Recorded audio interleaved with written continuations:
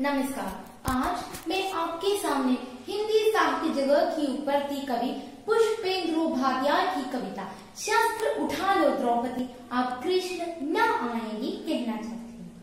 प्रस्तुत कविता में कवि ने स्त्रियों का मनोबल बढ़ाते हुए कहा है कि समय आ गया है। उन्हें इनका जवाब पत्थर से देना होगा। अपनी लड़ाई खुद लड़नी होगी। तो सुनिए ये कविता। छोड़ो मेहंदी छोड़ो मेहंदी, खड़क संभालो, खुद ही खुद ही अपना चीर बचा लो शतरंज बिछाए बैठे शकुनी शतरंज बिछाए बैठे शकुनी मस्थर मस्थर सब बिक जाएँगे। सुनो द्रौपदी सुनो द्रौपदी, शस्त्र उठा लो, अब कृष्ण न आएँगे। इस युग में, इस युग में का इंतज़ार ना करो द्रौपदी। घोर कलयुग की है। घोर कलयुग की है यह इक्कीसवीं सदी। यह तुम्हें यह तुम्हें अपनी रक्षा स्वयं करनी होगी। आँसू से नहीं, आँसू से नहीं, अंगारों से अपनी आँखें भरनी होगी। कृष्ण के वेश में दुशासन कृष्ण के वेश में दुशासन घात लगाए बैठे जिनसे आशा है तुमको, जिनसे आशा है तुमको, ईमान बेचकर बैठे हैं। लज्जाहीनों की ये सभा, लज्जाहीनों की ये सभा लाजगम सा न बच सकती। सुनो द्रौपदी सुनो द्रौपदी, शस्त्र उठा लो। अब कृष्ण न आएँगी। सुनो द्रौपदी सुनो द्रौपदी, शस्त्र उठा लो। अब कृष्ण न आएँगे। कब तक कब तक घास लगाओगे तुम बिके हुए अखबारों से? कैसी रक्षा मांग रही हो? कैसी रक्षा मांग रही हो दुशासनों की दरबारों से?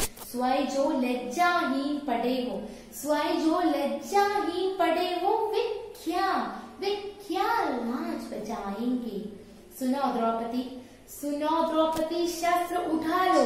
अब कृष्ण न आएँगे। मेहंदी से नहीं, मेहंदी से नहीं, तलवारों से हाथों का श्रृंगार कर। शतरंज बिछाए बैठे शकुनी, शतरंज बिछाए बैठे शकुनी, तुम बस तुम बस सीता वार करो। अंधे, बहरे, गूँगे हैं यहाँ के राजा और प्रजा। तुमको भी देनी होगी, तुमको भी देनी होगी अपराधी को खोर सजा। कल तक केवल अंधा राजा, कल तक केवल अंधा राजा अब गूँगे बहरे भी है। होन सी दिए है जनता की होन सी दिए है जनता की, कानों पे रोई भी। द्रौपदी द्रौपदी फिर लुट रही है। द्रौपदी फिर लुट रही है, दिन दहाड़े माँ पांडव दिखते हैं। मार पांटर दिखते हैं आँखें फाड़े। हो गया है, हो गया है सत्य अंधा, न्याय बहरा और धर्म अपंग। तुम ही कहो, तुम ही कहो ये अश्रु तुम्हारे किसको क्या समझाएँगे? सुनो द्रौपदी सुनो द्रौपदी, शस्त्र उठा लो। अब कृष्ण न आएँगे इस कलयुग में इस कलयुग में द्रौपदी नहीं दुर्गा का अवतार लेना होगा। जो गलत करते हैं, तुम्हें उसे सही जवाब देना होगा। आप दुशासनों को मत छोड़ो।